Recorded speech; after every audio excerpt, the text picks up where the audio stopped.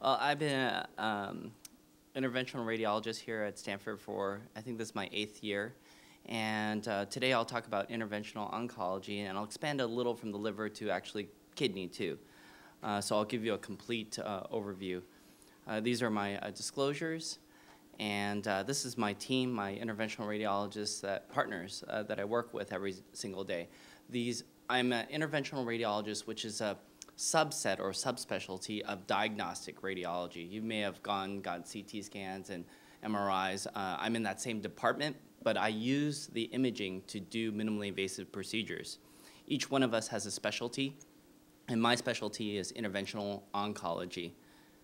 This is where I go to work every single day. Uh, it's great at dinner parties. People ask me, What do you do for a living? It's very hard to explain. When I say I'm a radiologist, people think I work on radios and, uh, or take films. I, but I'm lucky I get to go here every single day and uh, what you see before you is a, this is a, a, fluor a fluoroscopic machine, uh, x-ray machine. So the patient, oh good, you see the arrow. The patient lies here on the table and uh, x-rays come from below through the patient and then get imaged uh, from this detector right above the patient. So uh, this is a real-time imaging, and I use those images which get projected onto a large, actually it's not multiple screens anymore, it's a big like 70 inch monitor uh, in front of me, and I get to see what I'm doing inside of the person in real time. So I'm operating inside of people uh, through small incisions in the body using X-ray or ultrasound or CT guidance. And underneath all this sterile uh, paper is lead because of the X-rays. So um, I wear about 20 pounds of lead every single day, get a good workout. And this is what I use, uh, the tools to do my procedures, uh, needles, uh, wires, small little catheters or uh, tubing to basically travel through the body, through the blood vessels or veins uh, to get to where I'm going and uh, do my operation. Today I'm going to focus on renal cell carcinoma, and of course it's a common cancer in the kidney, however a very uncommon cancer you know, compared to the entire gamut of uh, cancers.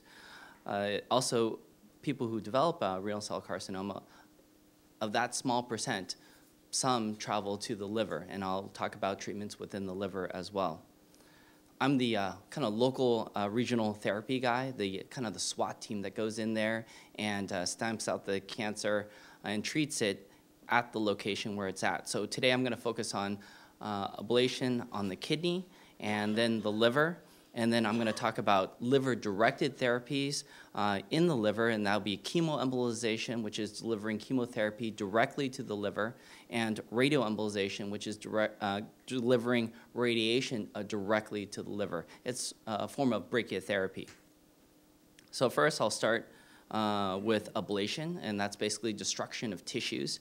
And within the liver, we generally burn tissues by using RFA, which is radiofrequency ablation, or microwave. And we go in there, we stick probes into the uh, liver, and we will basically destroy tissues by heating it up and cooking it.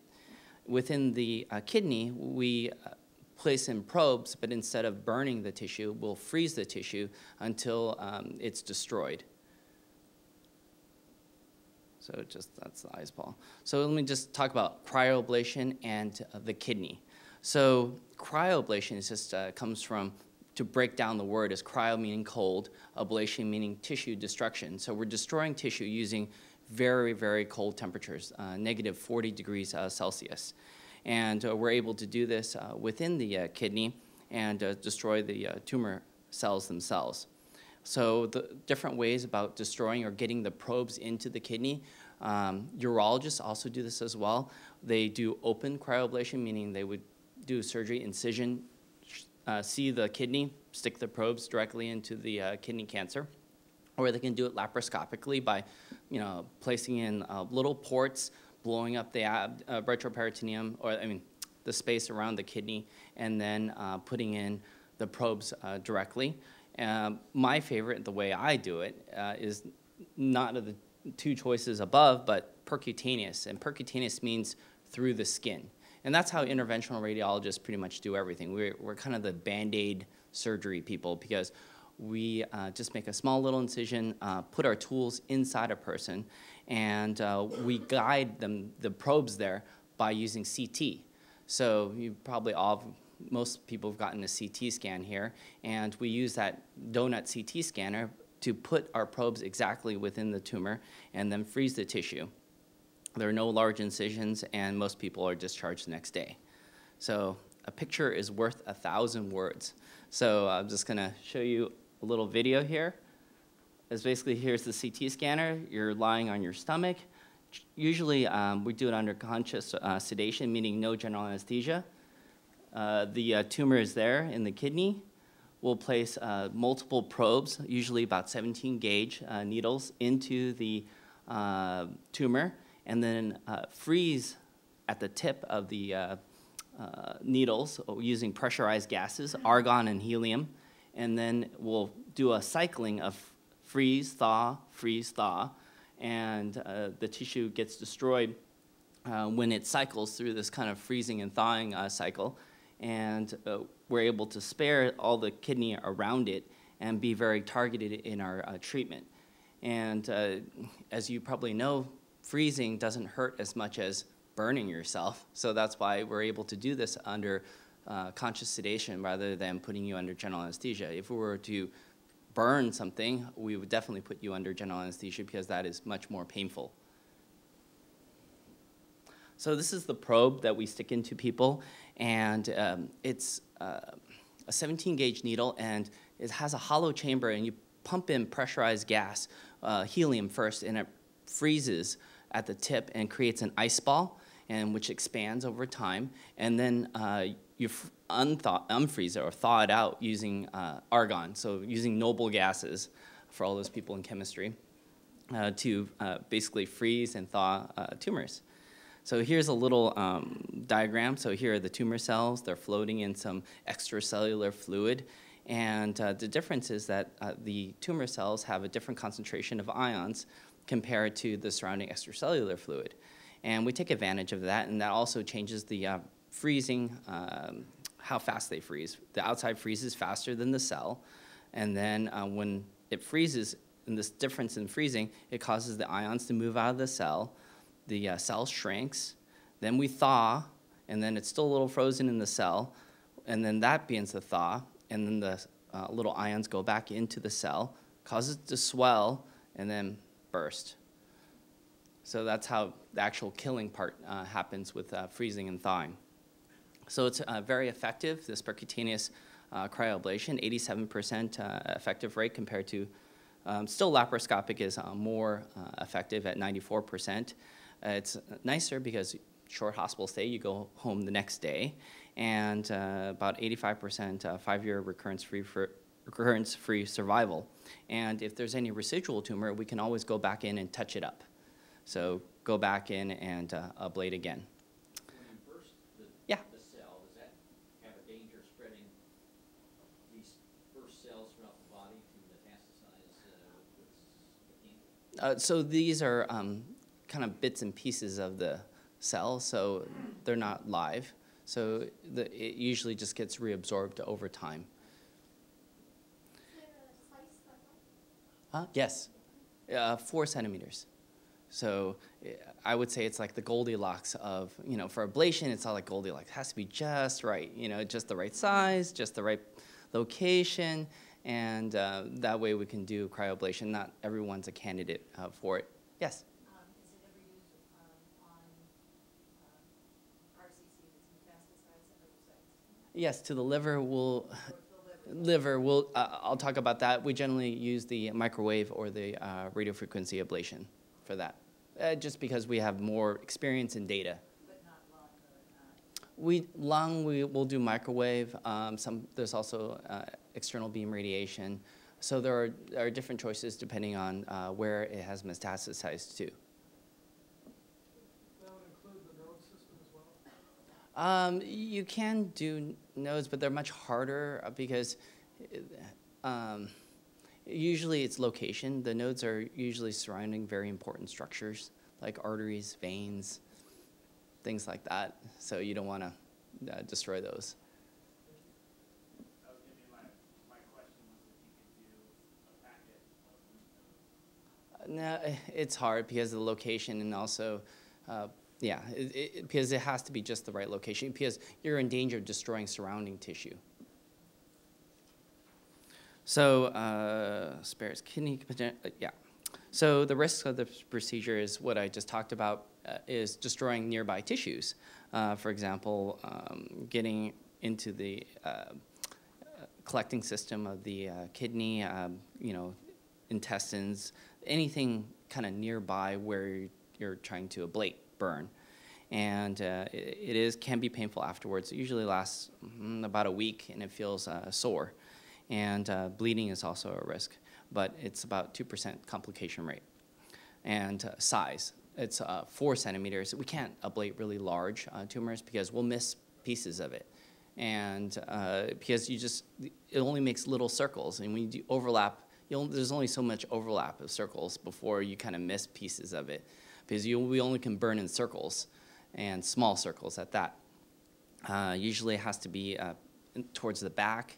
It has to uh, almost be hanging off the kidney. It makes it much easier for us. If it's more central it's difficult because you know you have important blood vessels the collecting system, it's just uh, more challenging, and I think at, at, that point it would be more surgery.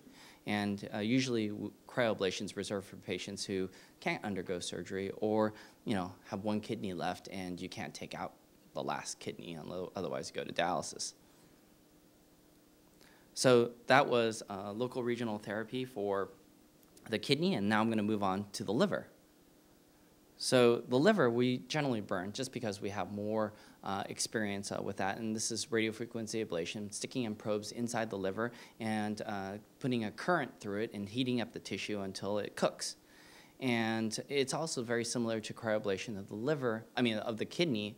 You know, liver is very important on location as well location is very important because it can't be near very important structures like the colon, gallbladder, large um, blood vessels, otherwise, it'll suck away the heat.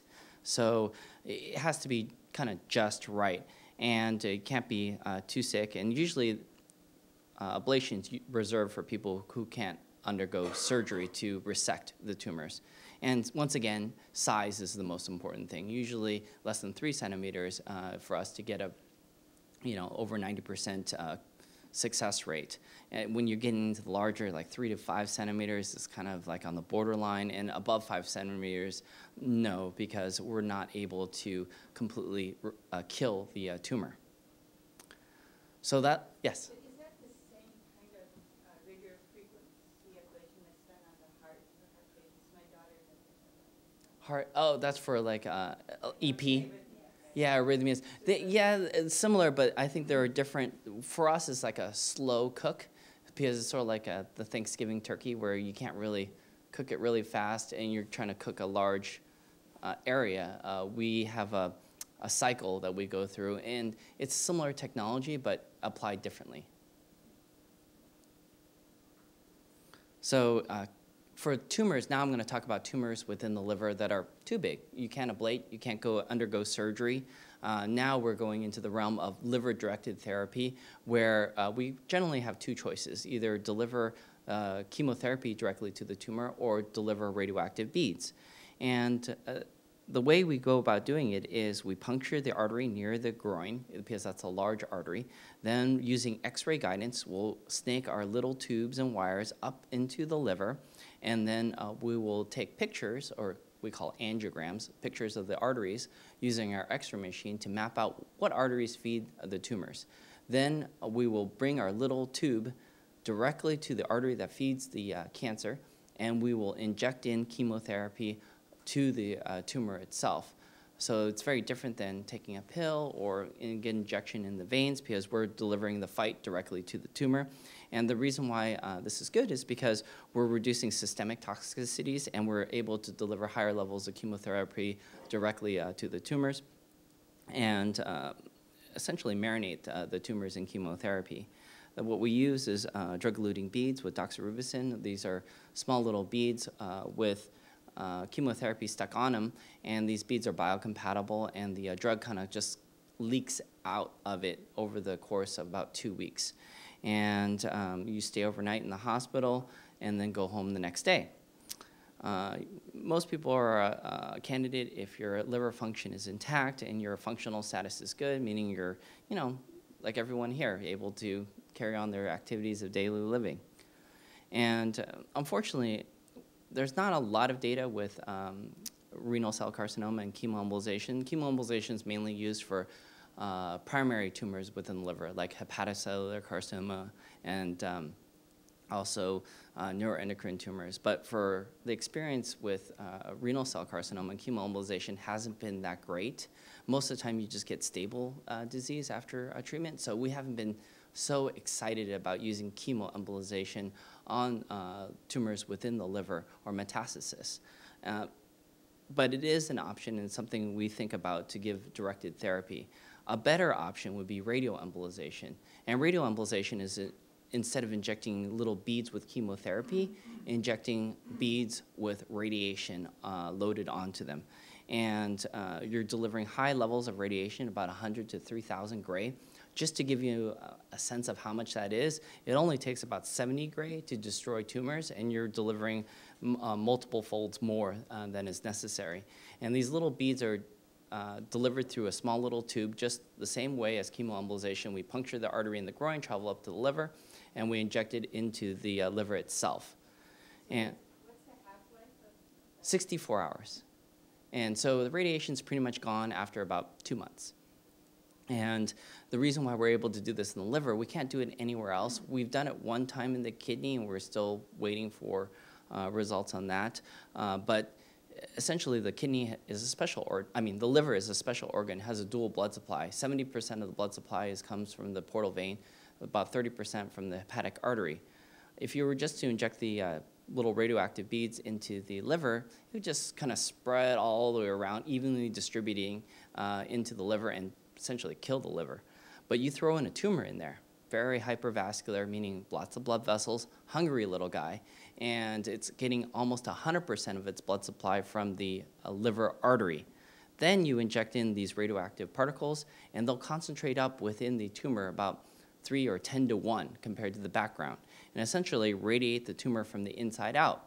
This is more radiation than you can hope to achieve from the external beam radiation, where they shine the radiation oncologist, where they shine the radiation from the outside in, because there's a lot of good tissue to go through before you hit a tumor.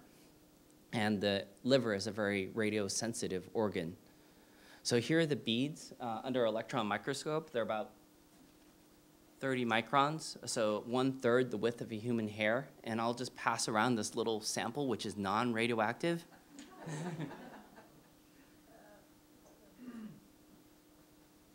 for people to look at. So that is the human hair right next to it, so you can see what it looks like in comparison. And there are two brands, SIR-Spheres and TheraSpheres, and we use SIR-Spheres um, uh, to uh, deliver the uh, radioactive particles. Uh, it's used for colorectal cancer. TheraSpheres is used for hepatocellular carcinoma, but we can use them for renal cell carcinoma as well. So they're made in a nuclear reactor. So those little beads that you see there, uh, they're yttrium-89. They pop them into the nuclear reactor. They can become yttrium-90, uh, which is a pure beta emitter. And what that means to you is that it, the ionizing or damaging radiation only acts two and a half millimeters away from that sphere. So it kills very locally. Maximum penetration 11 millimeters, and the half-life is 64 hours and they're attached to biocompatible spheres. Um, one comes from Canada, the other one comes from Australia, and then it decays to uh, zirconium. So it, will be uh, inert after a little uh, while, two months. So the people who are a candidate for this kind of treatment are people who have metastasis uh, to the liver and uh, predominant. So I always ask the question, what's going to kill the patient? Is it going to be the little lymph nodes, you know, maybe in the retroperitoneum, or is it the big masses within the liver? If the answer is the big masses in the liver, then uh, you're a candidate for this treatment, and provided that you have a good functional status, meaning you're able to, you know, get around, you're not sleeping more than half the day. Uh, these are people who are trying to maintain their quality of life and to help them live longer. We're definitely not a cure for cancer, but the whole purpose and treatment of our um, of our uh, radioembolization is to help people live better. So the way we go about doing it is you'll see us in clinic. Uh, we'll talk about this procedure, we'll answer all your questions. We're even on YouTube. You can see our videos if you like uh, beforehand, and then we'll go for um, get it authorized by the insurance company, and it'll be two outpatient, two to three outpatient procedures, meaning no overnight stay in the hospital. And then we'll meet again to uh, make sure you recovered from the radioembolization, and also we'll get imaging or follow-up imaging in about uh, 10 to 12 weeks, and we'll meet again to go over the imaging and to uh, basically discuss uh, what to do next. We always work in conjunction with oncologists, uh, surgeons. We work as a big team in tumor boards and things like that uh, in order to determine what is the best care. So we never work in a vacuum. It's a, a huge team um, working. So the first outpatient procedure when you come to Stanford is we'll map out the arteries to see what arteries feed the tumors. But more importantly, we'll look for arteries that lead away from the liver. Sometimes they're small little arteries that go to the stomach or the duodenum, and we want to plug them up permanently uh, with coils. You're not going to miss those arteries, uh, you're not going to feel it, but it does make it safer for us to receive the radioactive particles later. We don't want it to cause ulcers. And that's what you're seeing here is little ulcers and beads within the stomach because your, your gut is very sensitive to radiation. And um, we want to avoid that kind of complication. Even though we're super careful, still uh, ulcers happen in about 4% of our patients. And after we make it safe, we'll inject in a radioactive tracer to um, see where are those particles going to go once we inject them. Most of them will stay in the liver. Some will pass through the liver and go to the lung. And based upon the amount that's going to the lung, so this is kind of the mapping, what it looks like, how much is in the liver and how much is in the lung. Based upon that uh, shunt, based upon your liver volume, I will order the dose made special at the nuclear reactor because we don't have it sitting on our shelf. You're going to come back a week later. It's going to be FedExed over. You're going to come back in for another outpatient procedure where we uh, puncture the artery, travel up the liver again, and then deliver the radioactive particles directly to the liver. And we use this little complex box. Uh, so basically, we don't uh, radiate ourselves or spill it anywhere. Uh, because uh, the uh, Nuclear Regulatory Agency take it seriously. So we have radiation physicists running around with Geiger counters to make sure that we don't spill any of this stuff. Because if little of that stuff dropped on the floor, you'd never see it. Never had any accidents yet. So what to expect afterwards? Over half of my patients feel really tired and not very hungry. And it takes about two to four weeks to recover. The younger you are, the more robust you are, the faster you recover. Say you're 80 and you're kind of a little slow, you know, slower movement, uh, that will, your recovery will probably be a month. Uh, a quarter of my patients will, will feel pain or nausea, uh, but pretty much people feel normal back to uh, about a month. If you're really young, you know, in your 30s or 40s, you'll probably uh, get better within less than a week, probably within days. And the major complications, as I mentioned before, are ulcers, 4%, and liver failure is like 1%. Uh, those are the kind of the main complications.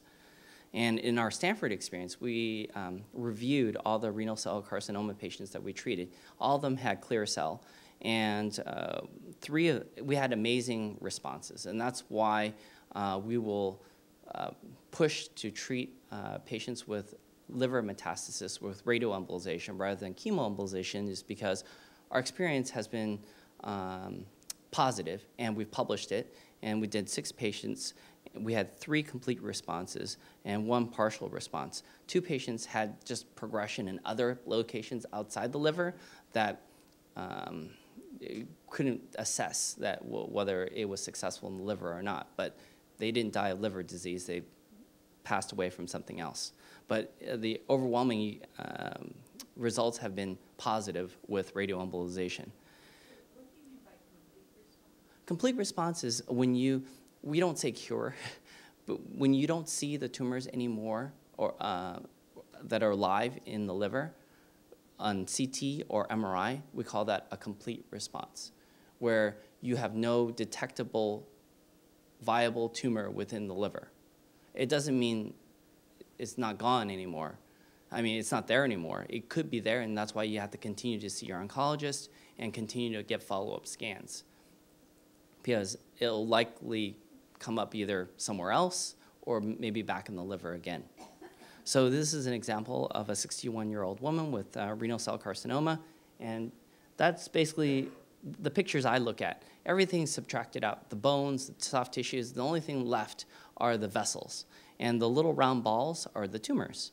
And we'll inject in the radioactive tracer, and this is what they look like. All the kind of um, pretend tracers kind of concentrate up within the tumors. And then we'll follow this patient over time, getting a CT scan at three months, then six months, then 19 months, then 50, 59 uh, months. And you can see we'll call this complete response because this is the liver, this is the tumor, which is bright white, and then this is the tumor afterwards, which is dark. And they're no longer enhancing with contrast, meaning it's no longer viable. And you'll see it shrink over time. It's like a scar that kind of gets smaller and smaller because we're not going in there and scooping it out. It has to absorb by the body over time. And then, unfortunately, although you get these great responses in the liver, uh, you have growth elsewhere in the body. Here is in the other remaining kidney, you have a tumor, and then within the uh, pancreas, you have a tumor. So that's why you get to need to be continue to be um, follow up with your oncologist, and also uh, continue to get scanned. So in conclusion, um, local regional therapy, uh, it's for liver predominant uh, disease, and uh, we're not curing cancer, but we're helping people live longer and uh, maintain their quality of life. And we're able to locally treat uh, tumors within the liver or the kidney using freezing or burning uh, techniques called ablation. And it's a minimally invasive procedures that uh, patients can come get treated, go home either the day of or the next day. And I just call it kind of band aid procedures because all the procedures I just described, um, you just wake up with a band aid. So, thank you very much for your attention. And yes.